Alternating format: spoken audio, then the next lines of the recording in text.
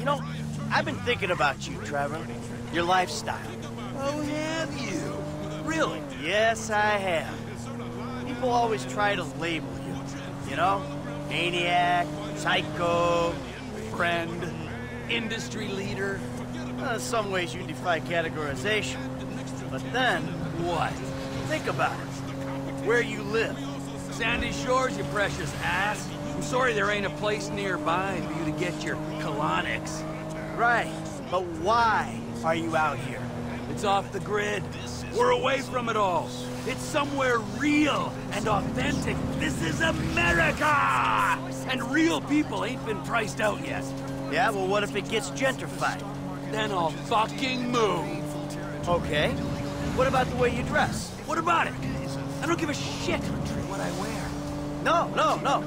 If you don't give a shit, you wear clean clothes that fit. So yours are all a little out there, a little wacky. Whatever's in the shop is what I get. Jesus, what is this?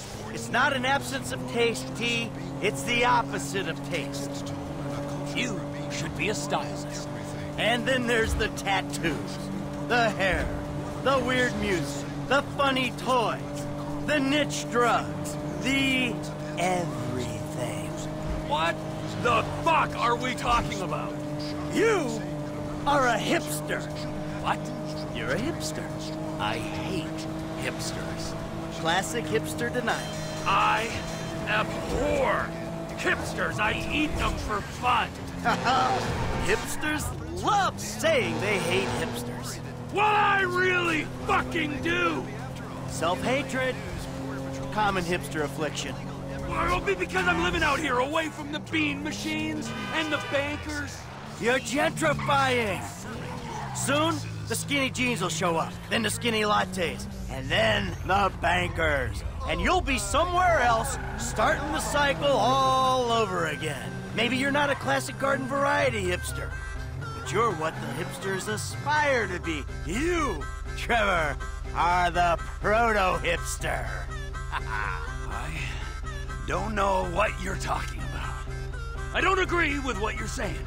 You're talking bullshit. You're trying to wind me up. But I'm very, very angry.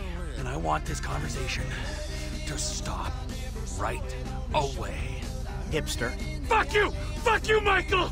Say it again. I've made my point. I'm not a sadist.